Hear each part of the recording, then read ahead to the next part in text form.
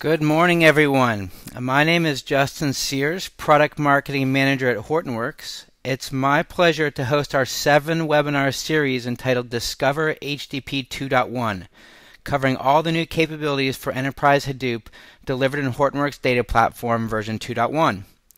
Today's Apache Hadoop 2.4.0 Yarn and HDFS is the fourth webinar in the series. If you've missed any of the last three webinars, you can find those recordings and Q&As on our blog. I'll be your host today, and I'm joined by two Apache Hadoop experts. Rohit Bakshi is a senior product manager at Hortonworks. He is responsible for Apache Hadoop and Apache Solr in Hortonworks data platform. Vinod Vavilapalli is one of the original architects of Hadoop. He is now a member of the PMC for Apache Hadoop, and he leads Yarn development at Hortonworks. Here's today's agenda. We'll begin with an overview of Yarn and HDFS. Then we'll cover new Yarn and HDFS features in HDP 2.1, and we'll finish with time for Q&A. We've got 30 minutes, so we're going to move quickly. All attendee phone lines have been muted. If you have questions during the presentation, please send them to Vinod in WebEx chat. Vinod and Rohit will take time to answer those at the end of the call. And if we don't have time to answer all of the questions, we will include a full Q&A in an upcoming blog, blog post about this call. Let me set the stage for Rohit and Vinod. This is a modern data architecture to store and process data from a wide variety of sources. Data comes in structured columnar formats and also newer, less structured formats like those found in human generated content, like Word documents or emails. Also in weblogs and clickstreams, and social content like tweets, and in machine sensor and geolocation data. You see those newer data types down here at the bottom. Apache Hadoop works well in combination with familiar data repositories like RDBMS, EDW, and MPP to store and process a full spectrum of data. That data is then available to a variety of data access applications and BI tools to complete many different data workloads batch processing, interactive query, stream analysis, NoSQL, search, and others. Today, we'll focus on the data management core of Hadoop, Yarn, and HDFS. Through our experience with more than 100 enterprise customers mm. running HDP, we know that enterprises need four additional capabilities to be integrated with data management. They need data access for the applications that use and analyze the data in HDFS. They also need data governance and integration, security for their Hadoop cluster, and tools for cluster operations. In today's webinar, we will focus on data management in Hadoop. We will cover more components of Enterprise Hadoop in additional webinars over the next month, and recordings of previous Discover HDP 2.1 webinars are already available on our blog. So now I'll turn it over to Rohit Bakshi for an overview of Yarn and HDFS. Please remember to send Vinod any questions in chat. I'll pass control over to you, Rohit. Great. So Justin set the stage, and what we're going to do is we're going to delve into um, Apache Hadoop Yarn HDFS and talk about what's new in HDP 2.1. So let's start with an overview. So with, it, with Hadoop 2.0, um, Yarn and HDFS came together to form the new architecture and the new data operating system for your enterprise data platform, for the Hortonworks data platform. What does that mean? What it means is that HDFS, scalable, reliable storage, and Yarn, resource management um, across all your nodes, comes together to form one common data operating system combining all the resources and, and, storage resources and compute resources available across your connected clusters. If you have a, you have a cluster of 100, 500, 1,000 nodes in your data center, all of that is managed through one data operating system which consists of Yarn and HDFS and then powers the enterprise data platform capabilities that Justin laid out um, with a holistic view of HDP 2.1. So with Yarn HDFS, right, you get a flexible data operating system, a flexible data management system. What that means is that you can run multiple different workloads, multiple different compute workloads in the same cluster at the same time, sharing the same resources. And all of those multiple varied workloads have access to the same set of data sets raw data sets, transform data sets, data sets ready to publish, all living in HDFS. It's efficient. It's efficient because now you have the ability to run your workloads in Hadoop, in the common set of memory, um, as well as push the processing across different workloads towards where the data lives. So Yarn and HDFS come together to provide you data locality in running your processing workloads. And it's shared. It's shared across all the different enterprise business app applications, analytical workloads, and use cases that you have in your in your cluster. Um, it's shared in the sense that you have one common fault-tolerant framework that protects against nodes failing in um, your storage layer, nodes failing in terms of running applications and running workloads across your cluster, and there's automatic fault tolerance and automatic restarting of those nodes, of those tasks. It's shared in the sense that there's a common security paradigm across your workloads. The common resource isolation and common data isolation available through HDFS and Yarn. It's shared in the sense that there's a common monitoring framework where you can monitor all your workloads, um, resource utilization, as well as monitor storage utilization across your cluster, across your workloads. So all that comes together to provide this common, shared, flexible, efficient, and reliable. We have Fortune 500 companies across the world running hundreds and thousands of nodes of HDP powered by HDFS and Yarn running their enterprise data workloads. So let's get into what's new with HDP 2.1. So Let's start with the storage layer with HDFS. We've made investments in providing greater control and security. So security um, with, with granular access, access, patterns to your data sets, um, extending how you can give role-based access control to groups and users to different data sets, as well as perimeter security. So HTTPS um, encryption for data transfer across the wire, coming from clients into the cluster, as well as access to the monitoring UIs available in uh, HDFS and in Yarn as well. We've gone through the details of these functionalities in older in prior webinars a few weeks ago, so I won't delve into the details of that one. But what, what I will touch upon is um, our performance improvements and our read caching ability that we've brought online in HDP 2.1. So with coordinated data caching in HDFS, what we provide is an ability to say, I have certain data sets and files that I know are going to be accessed over time repeatedly, and I want to ensure that they're cached in memory so that when a read request comes into those data sets, to those files, it's going to hit memory, not go to disk. And the way you do that is you um, use a centralized management control to identify which data sets you want to be cached, and HDFS takes care of bringing them into the memory and pinning those files in memory for you to read from. There is a set of administrative controls called pools and directives that allow you to manage how much memory is being utilized across these data sets and for caching in memory, as well as the time to live and um, access controls to that data. So the flow and how this works is that as an admin, you will request that a certain set of files need to be cached. Once you make that request, the name node coordinates with all the different data nodes and says, here's the different files that need to be cached, and then identifies how it can be cached in memory of the data node. So this is cached in the data node memory.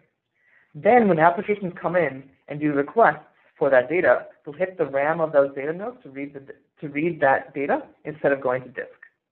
And so it's across the, um, across the HDFS stack you now have the ability to load data into memory. A key feature that we got brought online delivered in HDP 2.1.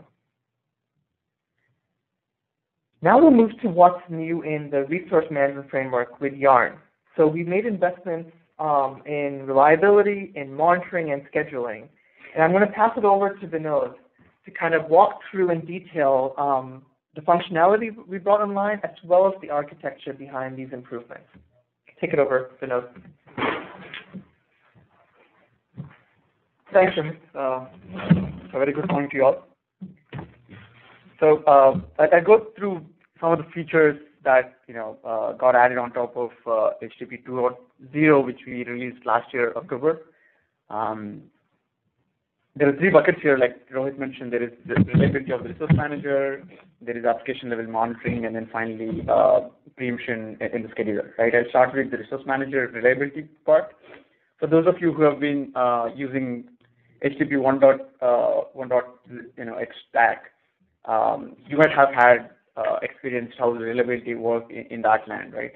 Um, you know, there are significant concerns, you know, third-party dependencies and stuff like that, which we set out to fix in the HDP HDP uh, 2.1 release. And uh, a quick overview of uh, the you know, salient features of Resource Manager uh, reliability, why why you want it. Uh, if you're managing a cluster, uh, you you know across the stack in all components, you want high reliability, which actually means your applications don't you know get impacted because of either hardware issues or you know software issues causing you know master crashes, right?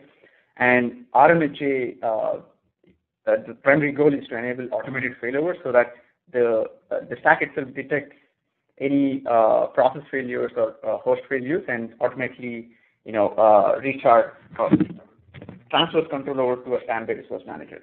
The architecture is uh, built around an active standby you know architecture wherein a standby resource manager always is up and running. It's uh, it has access to the to a shared state store where the active resource manager is writing its state. Um, it it will depending on uh, the mechanism of automated failover, uh, anytime the active resource manager goes down, the standby takes over and uh, and uh, the client side never uh, sees any of the impact, right? Uh, along with any HA solution, you also have the problem of split brain when you have two masters running uh, in parallel and you know uh, trying to access a, common shared store, you have the issue of fencing where uh, you know you may run into a case where both the uh, daemons think they are the masters, and that can lead to uh, many issues. It, can be data corruption in case of uh, a file system. Um, it could be uh, a state inconsistency in case of uh, compute platform like Yarn, right? Uh, and RMHA has built-in support for fencing. We also have worked worked hard to make sure that the feature itself is available across the stack so that uh, all frameworks that are built on top of Yarn, uh, whether it is MapReduce or Tez or Hive or Pig or Oozie or whatever, right? Um, all of those components are already certified. We've, uh, you know, we have made, we made sure that there is no impact of, uh, on all the components that sit on top of Yarn. And finally, this is integrated right into the HDP stack. Uh, like I mentioned, if you've uh, experienced the HDP one, uh, there are many, many solutions which may or may not be part of the you know the integrated HDP stack. So I can quickly go through the architecture overview of the thing so that that gives a, better understanding of how this is done. Um, so in, in a Yarn cluster, you have node manager agents, um, you know, running on all, all the nodes in the cluster, uh, whether it's a 10 node cluster or a 500 node cluster. And they're all at any point of time communicating with, uh, uh, with an active resource manager, right? Uh, that's the one on, your left side. The clients also directly always talk to the active resource manager. And the active resource manager itself uh, maintains state to a, uh, to a central state store. I was referring to a central state store. The state store implementation that I have here is the Zookeeper-based one. Uh, the RM continuously writes the uh, active state, and anytime uh, you know uh, an, an, issue happens on the machine where you know where the resource manager is running, uh, the standby is always listening on, Zookeeper. It, takes the active lock, and uh, once it it takes over the control, the clients are automatically failed over, so so the node managers. And because of the work we've done, you know, above the stack, the entire, you know, user applications frameworks, they're obvious, oblivious to this uh, failover, and it happens so fast uh, that there is a minimum, minimal blip to the, you know, the performance or throughput of the application. Let's go to the next next, next uh, big feature. We implemented what is called application timeline server. Uh, the main goal of this feature is to enable uh, monitoring and even collection of applications. Um, so the fundamental, you know, uh, the reason why we need something like this is uh, as as as Justin and Rohit talked before, Yarn is uh, positioning itself as a data, you know, data operating system, right? And in a data operating system, there are applications of varied types. And you know, uh, we have uh, in the in the past worked on making MapReduce a first-class application on top of Yarn, and increasingly there are more applications coming on board. And event collection is one of the very common core features that every application needs. And that's where application timeline server comes in. Um, the way it is implemented is by having a central server which takes an event across from across the applications. It stores all of that on, in, a, in a store. Uh, and depending on your site size, you may be uh, running on a local embedded database, or uh, it could be uh, an HBase kind of scalable, highly scalable, fault-tolerant uh, store. Once the once the events uh, reach there, they're exposed to the end users uh, via REST APIs. Users can build visualizations using the APIs. They can build tools. They can do performance analysis of of their applications based on the events. And and we also want to make sure that it's available for both the end users as well as admins. Admins can uh, make use of these, this information to figure out, hey, what's happening in my cluster? How are my queues getting utilized? Am I uh, doing my capacity planning correctly and stuff like that? So that's the overall grand view of timeline server. Uh, we did a preview of this uh, in, in HDP 2.1. We enabled uh, you know, frameworks like Ambari along with and Tez to uh, give a give give some sort of visualizations that I was referring to, uh, specifically in that stack of Hive and uh, Ambari. We wish to enable it for uh, for a larger uh, framework base going into the future. A quick uh, look into the architecture itself. Uh, um, you know, like before, every node manager, every node, every single machine in a cluster is running a node manager. They're running the containers. And in this example, if, you see there, there are multiple applications running here, there is uh, batch MapReduce application, there is uh, a Storm application running on top of. They all, they all have, you know, they're running for a while, they want to emit metrics and they want to expose it to end users. And in this example, the, containers or the application masters directly send events to the, central uh, timeline server, which stores it in a, in a store. Uh, and then tools like Ambari uh, or, custom monitoring client written by user can query the information stored in the timeline server and visualizations and, and so on.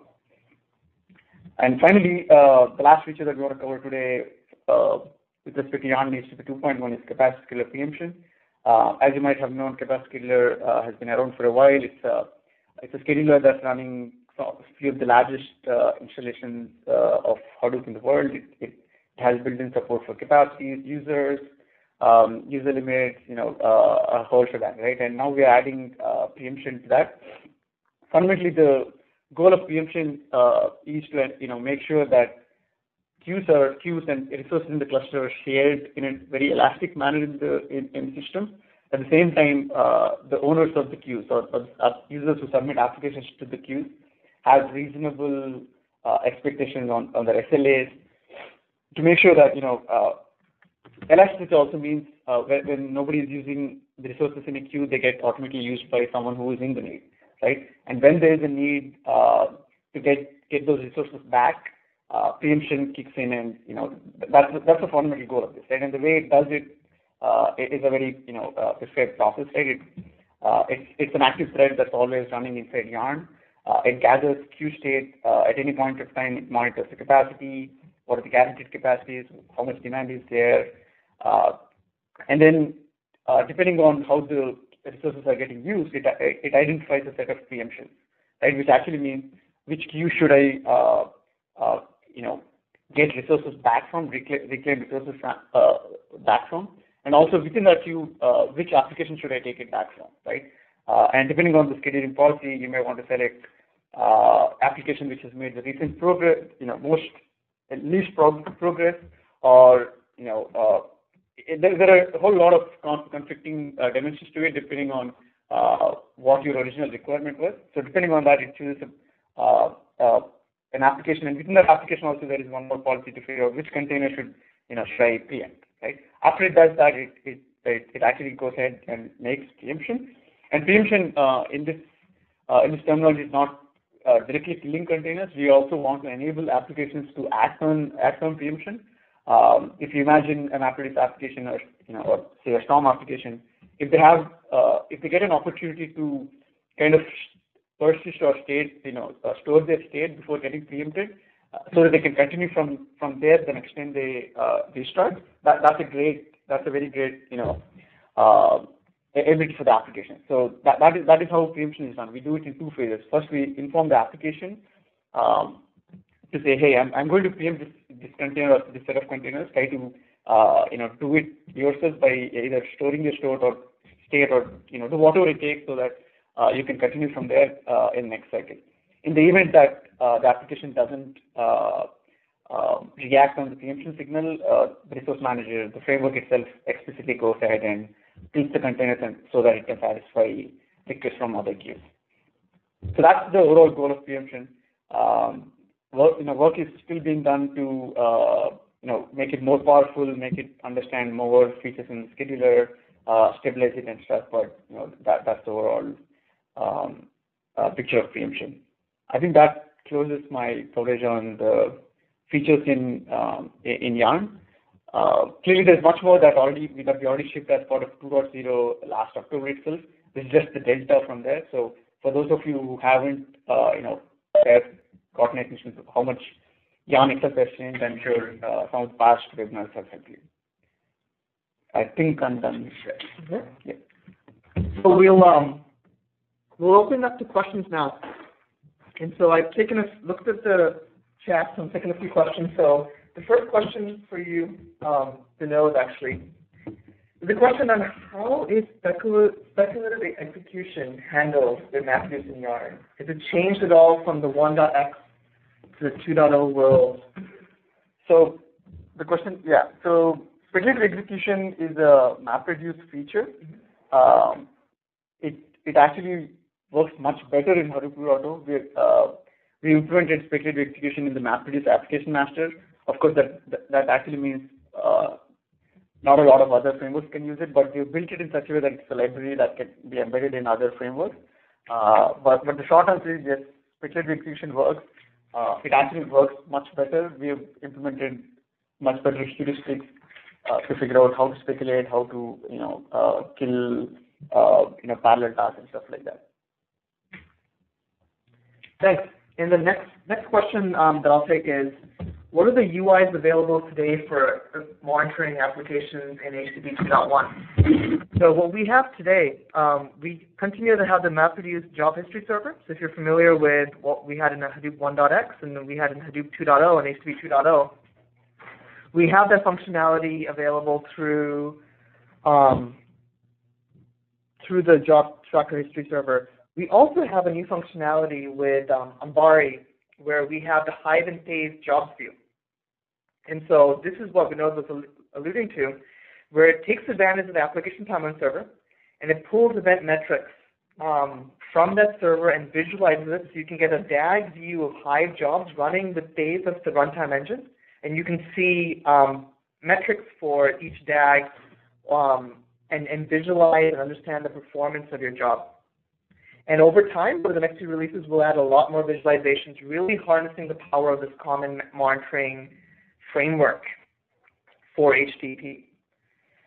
Another question that we got was, um, what do you mean by full stack resiliency when it comes to Resource Manager HA? And this is something that Vinod was alluding to as well. Um, what we did when we certified Resource Manager HA is we ensured that we tested the entire stack of components and the stack of components being the data access stack that Justin was giving an overview of before. So Hive, Pig, MapReduce jobs, Tez jobs, HBase running on top of and, and interacting with the resource manager, um, as well as with HDFS and HA. All these different applications, we made sure that if you bring down the resource manager, you bring down the name node, they're resilient, they pause, they retry. Um, the idea is that we don't want any service disruption. When an enterprise deploys this in production, there's no service disruption if they have a failure event, if one of the resource managers goes down.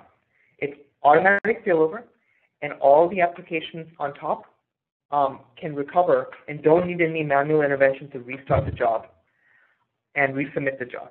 They continue to completion.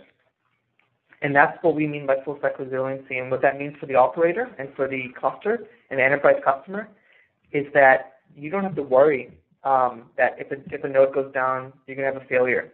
The system is is architected to handle those failures and keep on going. Another question that we got um, is on data locality. So when it comes to Yarn and HDFS, right, we talked about data locality being a feature. So Vinod, if you could give some thoughts on how is that implemented and how does that work and what does that mean for, let's say, a MapReduce app or for another app that's running on Yarn? How does it take advantage of data locality? So data locality is a feature that's, again, implemented uh, across both Yarn platform as well as the applications. Uh, the Yarn scheduler understands uh, when the applications come and say, hey, my, um, you know, my either, either my HDFS blocks are in this set of machines or racks, right? It understands the fact that you know users can come in and say, uh, give me a bunch of containers on this machine, on this rack, because either because of your uh, H, you know HDFS blocks depending on the same set of machines, or you have some software that is only installed on that set of machines. So Yarn understands overall, uh, you know, the concept of locality. You can ask uh, containers on specific host and machines, but it's, it's entirely up to the application to figure out how how the machines are tied to their the data or, or specific software running on a subset of machines. So in the MapReduce land, MapReduce application master comes in and says, hey, my HDFS blocks are on this set of machines and this set of racks. Let me convert them into what we call the resource requests that uh, that is Yarn's parlance for locality. Uh, and then once it goes to Yarn, uh, Yarn understands, hey, this application is asking me to give containers on this smaller subset of machines or racks. Let me try to give that on a on a best you know case by uh, best case, depending on of course other uh, scheduling invariants like capacities, user limits, and stuff like that. So it, overall, it's, it's a synergy between the application and the platform. Platform gives the ability to uh, let you know let you specify the locality of uh, of your uh, containers, and then you know once you submit those requests, Yarn will try its best to give that. Yeah. Thanks. And and one final question that we got um, is around so here, here actually the question, um, if Yarn HDFS are for storage memory management, which daemon does the processing? So what's the job tracker's work? So where does the data processing happen? Good questions. In the new architecture that we have um, for Hadoop 2.0, that work of doing the data processing is split between the resource manager in Yarn and the different application masters. So let's take MapReduce, for example, right? Job Tracker was responsible for scheduling MapReduce jobs, as well as monitoring and making sure the MapReduce jobs ran to execution, and keeping track of all the tasks for a MapReduce job. Now in the Yarn world, you have the resource manager of Yarn who's in charge of scheduling and giving resources to a MapReduce job. And then you have a MapReduce application master, which is one of the one process that's spawned by the MapReduce job in Yarn that's responsible for keeping track of all the mappers and the reducers, making sure they finish, and coordinating the process. For Storm, you have uh, another application master that's responsible for Storm. For Tez, you have a Tez application master.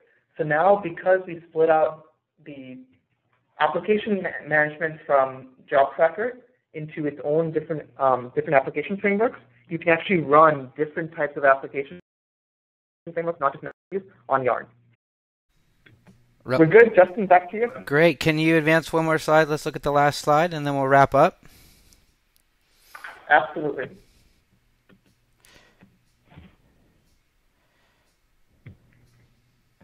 So, we'll, we'll, so if you want any more information, thanks for coming online. Um, if you want any more information, we have a lot of information on our website. We have a labs page that talks about the different features in Yarn and how we've progressed over time um, and kind of calls out how you can think about running multiple different workloads in the same cluster through Yarn and HDFS.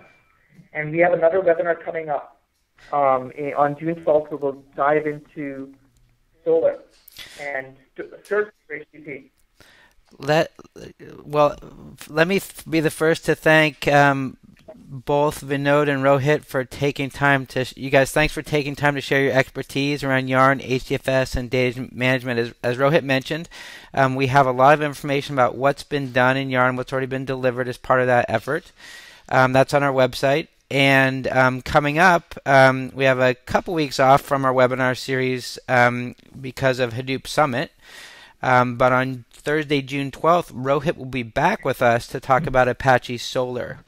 So I want to thank everyone that attended. Um, if if we didn't answer your question because of time, there will be a blog post about this um, webinar with a recording, and so watch our blog for that. If you haven't signed up for the remaining three Discover 2. Uh, Discover HDP 2.1 webinars, you can do that from hortonworks.com forward slash webinars. You see that on the screen. And as I mentioned, the next one will be on June 12th. We hope you can join us for that on June 12th, and this ends today's webinar. Thank you very much.